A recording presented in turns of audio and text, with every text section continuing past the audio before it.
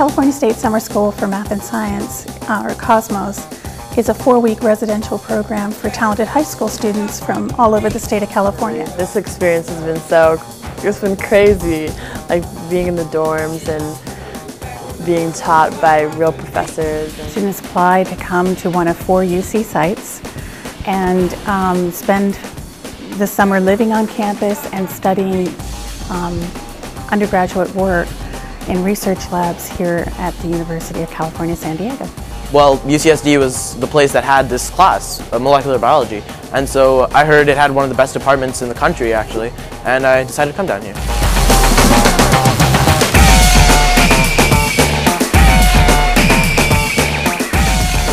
This is a cluster on mechanical engineering design and our specific topic is on kinetic sculptures and also mechanical clocks. And we provide them a challenge where they get to build things that they want to build.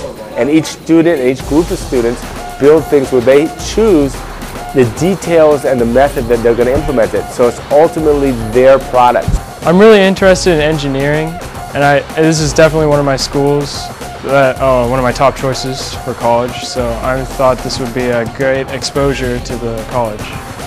And basically I'm applying all those things I read about in the textbooks that all those professors have discovered, all those far off people, it's coming right to me at my doorstep and I can really experience what I read, so it's amazing. The first thing is that they see what university life is like. Uh, many of them have never been to a university and they see that a lot goes on here not only as far as uh, teaching in classrooms, but in research. They're meeting, um, you know, world-class leaders in different disciplines, and they uh, get a feel for what the research process is like. Our faculty are really interested in being here.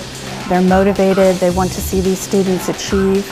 And when they get their cluster in, they're really excited to be working with these high school students. I'm, I'm really impressed. I think everything is really nice and very well organized and set up really well and I feel like really comfortable around everyone. It was really amazing. They really care, they really show an involvement and really teach us something and I've been really impressed with all three professors that we've had here. Well, in, I think in general, any outreach pro program you can do where you have students come to university and learn to see what the labs are all about and uh, what the professors are doing here is, uh, I think is important because that Uh, and it makes the, the threshold of coming to college a little easier for them. We got to go by and cover a lot more things than we would have in like normal high school and everyone had the same enthusiasm for it so that's what I loved about the academic part of it. I'm really excited for college just judging on these three professors like really engaging like really really good. It's really an experience that you can't trade for anything else. I mean, here has been amazing and nothing like anything else I've ever done, so it really prepares you for